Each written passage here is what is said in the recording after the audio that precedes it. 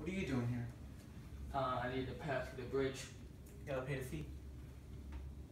I don't want to. Then you better find me. His advantage, the gun. My advantage, it is not yet in his grip. Jab in stomach. Deflect hand from reaching gun. Increase spinning momentum. Bruise ribs. He falls on his left elbow, bruising it. He reaches for his gun with his bruised arm. Out of fear, he will shoot it quickly. Too far to my right and misses. Remove gun from his hand.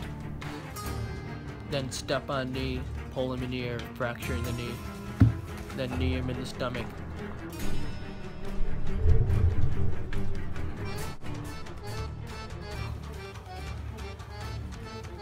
He takes a final desperate swing, deflect arm, then finish the job.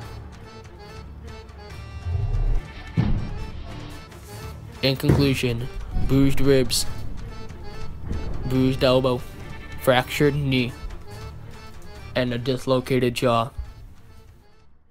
Unconscious for 23 minutes, will wake up and throw up for 30 seconds.